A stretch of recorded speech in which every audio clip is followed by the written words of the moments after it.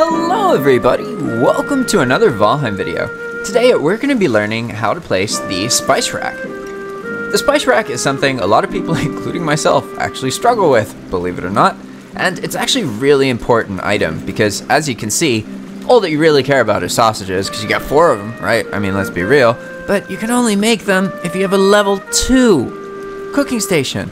What's that? How do you even do that? Well, you need a spice rack. And in order to do that, you need three dandelions, two carrots, five mushrooms, three thistle, three turnips, and a workbench.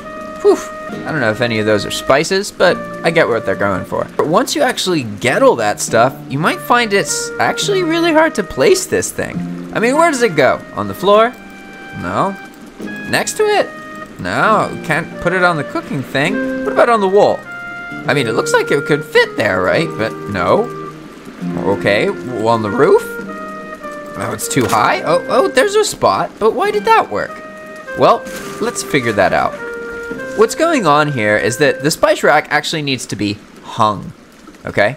Normally, what you just saw is what happens. The player kind of looks around and then gets lucky and just happens to find the right surface by clicking in enough places. But what if you put the right surface exactly where you want it to be? Well, it's really easy to do all you have to do is just go to build and then build this wood beam one meter. Okay? Not like that, like that. All right? And then just put it wherever you want the spice rack to be. Just open up the menu, go to the spice rack, and boom, look at that. We can place the spice rack anywhere along that beam, even if we want it to be like right here on the wall. So what happens if we place it and then we get rid of this? Oh, well, suddenly we have a spice rack that's just on the wall like we wanted it to be.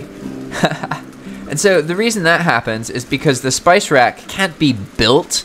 It has restrictions on how it's built. But as long as it's built in the right place, that it clips with the wall, you can actually just remove the thing you need to build it and then just put it exactly where you want. So you really can hang the spice rack on your wall without anything else, but you can't just build it that way. You have to actually make that little item. Thanks for watching, everybody. And don't worry, if you had struggled with this, I did too. At least we're stupid together, right? And with that, if you want to support my work, then consider checking out my tutorial all about purchasing your own dedicated Valheim server.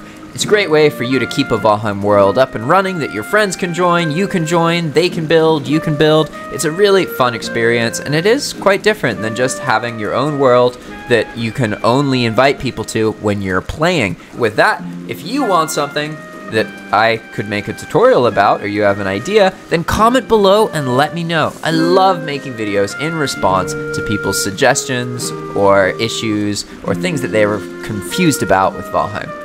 Thanks for watching, and I'll see you next time. Bye!